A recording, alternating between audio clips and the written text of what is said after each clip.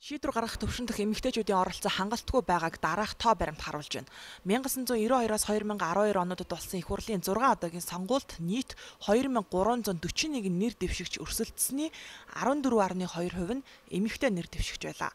Ийм цөөн эмэгтэйчүүдээс шийдвэр гаргах шатанд эмэгтэйчүүдийг 20-30%-аар нь гаргаж ирэх боломжгүй нь ойлгомжтой. Өнөөдөр Монгол Улсын хууль тогтоох байгууллага болох их хурлын гишүүдийн 11% нь эмэгтэйчүүд байгаа юм. Цаашлбал засгийн газарт 15.7%, орон нутгийн удирдлагын 22.7%, нийслэлийн иргэдийн төлөөлөгчдийн хурлын гишүүдийн 13%, аймаг дүүргийн иргэдийн төлөөлөгчдийн хурлын нийт судлалын 19.9% нь эмэгтэйчүүд байна. Эмэгтэйчүүд эрчүүдэд байр суурь алдаж байгаа хоёр шалтгаан бол төр засгаас гаргасан хуулийн хэрэгжилт учир дутагдaltaй мөн эмэгтэйчүүдийн нийгмийн итвэх муу байгаатай холбоотой гэж дүгнэгдэж байна эмэгтэйчүүд өөрсдөөсөө шалтгаалж байна. Өөрсдөөсөө өөрсдөөсөө эхнээд нийгмийн идэвхээ сайжруулах хэрэгтэй байна. Өөрсдөө нэг нэг нэгээ дэмжих хэрэгтэй байна.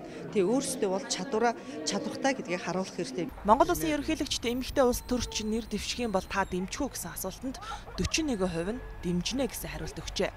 Улсын хуралд танаа тойрогт эмэгтэй нэр дэвшигч өрсөлдвөл та дэмжих үү гэсэн асуултанд 42.8% нь дэмжинэ. Харин 44.1% нь хүнийг нь харж байд сонгоно гэж хариулсан байна. Монгол улсад шийдвэр гаргах төвшөнд эмэгтэйчүүдийн төлөөлөл хангалтгүй байна гэдэгтээ санал нийлж байна уу гэсэн асуултанд 86.2% нь санал нийлж байна гэж хариулжээ. Ийм нөхцөл байдалд шийдвэр гаргах төвшөнд эмэгтэйчүүдийг бодиттой дэмжиж гэвэл намуудын тухай хуульд өөрчлөлт оруулж их хурл болон орон нутгийн сонгуульд нэр дэвшигчдийн 50%-ийг эмэгтэй гишүүдээр бүрдүүлэхийг тусгаж өгөх. Их хурлын сонгуулийн тухай хуульд өөрчлөлт оруулж эмэгтэй нэр дэвшигчдийн квотыг 30% болгох, намын жагсаалтаар эрэмблэгчдийн эхний 10-ын 50-аас доошгүй хувь нь эмэгтэйчүүд байх зэрэг өөрчлөлтүүдийг оруулах ёстой гэж эмэгтэйчүүд үзэж байгаа юм а үеийн нийгэмд ингэж их одоо нэг газар суурин одоо төвлөрч амьдарч а тэгээд одоо салбар салбарын одоо ажил амьдрал ингэж их боцолж байгаа үед эмэгтэйчүүдийн оролцоогүйгээр эмэгтэйчүүдийн идэвхтэй одоо бас тэмцэлгүйгээр энэ бүхнийг шийдэхэд бол бэрхшээлтэй байгаа. Тийм учраас бид бол одоо ямар шаардлага тавьж гэнэ вэ гэхээр зэрэг э, ирж байгаа улсын хурлын болон орон нутгийн сонгуульд нэр дэвшигчдийн 50%-ийг одоо эмэгтэйчүүдээр бүрдүүлж дэвшүүлээч гэдэг одоо ийм шаардлагыг бол улс төрийн намуудад тавьж байгаамаа. Нийгмийн тулгамцсан асуудлуудад эмэгтэйчүүдэд түлхүү анхаарч ажиллах ёстой. Тиймээс шийдвэр гаргах төвшөнд эмэгтэйчүүдийг дэмжих гэсэн сэтгэл зүйн хандлага нийгэмд хэдийн бий болсон байна.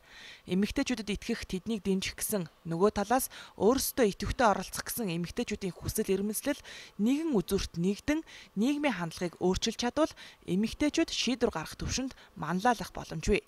Ингэж чадахгүй бол соёл уламжлал зэрэг олон шалтгааны улмаас бас өөрийн хүүсээс шалтгаалan нийгэмд эрэгтэйчүүдээс доогуур нөхцөлд амьдран хүүс тулгуурласан ялгуурлалт өртсөөр дуусах хувь тавилан хүлээж байна.